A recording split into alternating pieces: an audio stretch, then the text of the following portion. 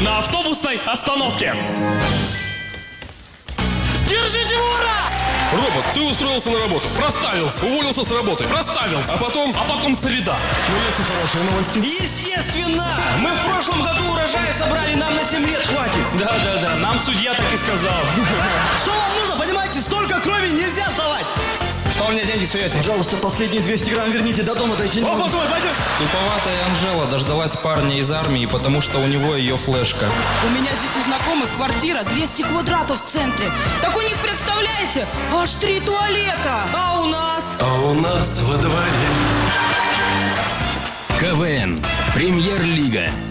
С 13 июля на Первом. Некоторые иностранцы думают, что у нас в России кокошники делают именно так.